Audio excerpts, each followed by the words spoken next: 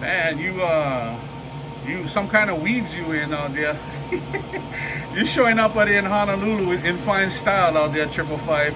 Take it at triple five. Take it at triple five. You said you back in your weeds out there. Well, you, you just do what you gotta do out there. 121, cruising along out here in, in Honolulu. I'm on these beaches. Aloha.